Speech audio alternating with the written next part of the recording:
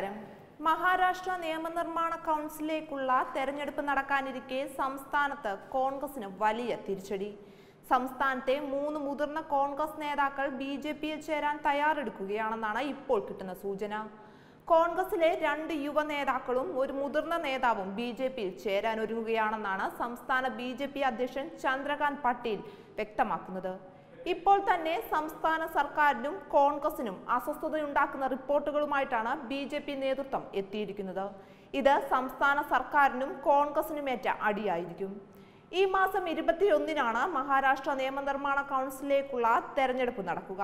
ഒൻപത് സീറ്റുകളിലേക്ക് നടക്കുന്ന തെരഞ്ഞെടുപ്പിലേക്ക് ഭരണപക്ഷമായ മഹാവികാസ് അഘാഡി സഖ്യവും ബി ജെ പിയും സ്ഥാനാർത്ഥികളെ പ്രഖ്യാപിച്ചു കഴിഞ്ഞു.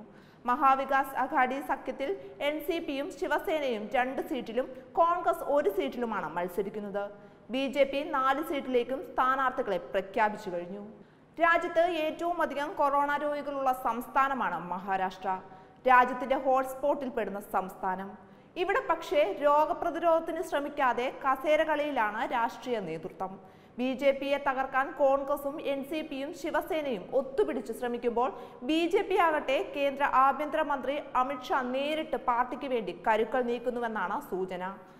കോവിഡിനു പിന്നാലെ ദേശീയ തലത്തിൽ രാഷ്ട്രീയ ഭൂകമ്പം ഉണ്ടാകുമെന്ന് മഹാരാഷ്ട്ര ബി ജെ പി അധ്യക്ഷൻ ചന്ദ്രകാന്ത് പാട്ടീൽ പ്രഖ്യാപിക്കുമ്പോൾ എന്താണ് സംഭവിക്കുന്നതെന്നറിയാനുള്ള ആകാംക്ഷയിലാണ് രാജ്യം. മഹാരാഷ്ട്രയിലും സമാനമായ ഭൂകമ്പം ഉണ്ടാകും. മിക്ക നേതാക്കളും ബി ജെ പിയിലേക്ക് ചേക്കേറും. കോൺഗ്രസ് സ്വന്തം ആളുകളെ ചേർത്തു നിർത്താൻ ശ്രമിക്കണമെന്നാണ് മഹാരാഷ്ട്ര ബി ജെ പി അധ്യക്ഷന്റെ പ്രഖ്യാപനം. മധ്യപ്രദേശിലും കർണാടകയിലും നടന്നത് മഹാരാഷ്ട്രയിലും ആവർത്തിക്കുമെന്നാണ് സൂചന. കോവിഡ് വൈറസ് പ്രതിസന്ധി ഘട്ടത്തിൽ നിന്ന് സംസ്ഥാനം കരകയറുമ്പോൾ കോൺഗ്രസിലും സംസ്ഥാനത്തിന്റെ പല ഭാഗത്തും പൊട്ടിത്തെറികൾ ഉണ്ടാകുമെന്ന് ഉറപ്പാണ്.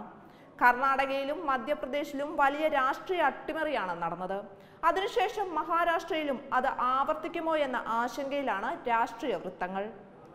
കോൺഗ്രസ് നേതാവായ ജ്യോതിരാദിത്യ സിന്ധ്യയുടെ ബി ജെ പി പ്രവേശനത്തിന് പിന്നാലെ മധ്യപ്രദേശിൽ കമൽനാഥ് സർക്കാരിന് ഭരണം നഷ്ടപ്പെട്ടിരിക്കുകയാണ്. മുതിർന്ന ബി ജെ പി നേതാവായ ഏക്നാഥ് ഗഡ്സെയെ കൊണ്ടുപോകാൻ സംസ്ഥാന കോൺഗ്രസ് ശ്രമം നടത്തുന്നതായി കേട്ടു. ഗഡ്സെ വർഷങ്ങളായി പാർട്ടിയുടെ തീപ്പൊരു നേതാവാണെന്ന് ഈ ശ്രമം നടത്തുന്നവർ മനസ്സിലാക്കണം. കോവിഡ് നയന്റീൻ കഴിയുമ്പോൾ നിരവധി കോൺഗ്രസ് നേതാക്കൾ ബി ജെ പിയിൽ ചേരും. മറാത്തി വാർത്താ ചാനലിനോട് സംസാരിക്കവെയാണ് പാട്ടീൽ ഇക്കാര്യം പറഞ്ഞത്. കൊറോണ വൈറസിന്റെ ഭീഷണി ഒഴിയാൻ ബി ജെ പി കാത്തിരിക്കുകയാണെന്നും അദ്ദേഹം കൂട്ടിച്ചേർത്തു. ഇതിനു പിന്നാലെ ഗഡ്സയെ കൊണ്ടുപോകാൻ നോട്ടമിട്ടിരുന്ന കോൺഗ്രസ് നേതാവ് പാർട്ടിയിൽ നിന്നും ആളുകൾ കൊഴിഞ്ഞു പോകുന്നത് കാണും. വരുന്ന മാസങ്ങളിൽ ബി ജെ പി ശക്തമായി തിരിച്ചുവരുമെന്നും അദ്ദേഹം കൂട്ടിച്ചേർത്തു. എന്തായാലും മധ്യപ്രദേശിലും കർണാടകയിലും നടന്നത് മഹാരാഷ്ട്രയിൽ ആവർത്തിക്കുമോ എന്ന ഭയത്തിലാണ് സംസ്ഥാനത്തെ കോൺഗ്രസ് നേതൃത്വം.